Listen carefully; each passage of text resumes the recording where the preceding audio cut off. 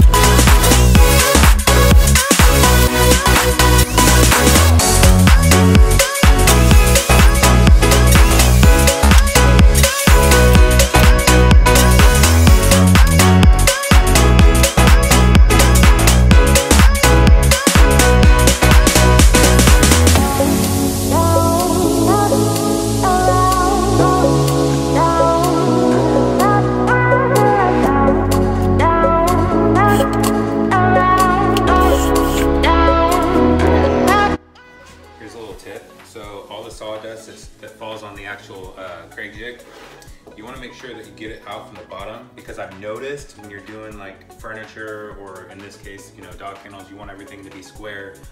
Um, so I've noticed that a lot of times um, I was having trouble in the past because all that sawdust would build up on that, you know, on the flat part right here, and it would it would throw this out of plumb and then I would lock it down and my holes themselves, you know what I mean, would be, you know, the, the jig is going straight down and then my piece is out of plumb. So my holes are getting drilled at somewhat of an angle. So when you go to assemble and you start screwing stuff, your screw is gonna follow, you know, the pre-drill of the Kreg jig.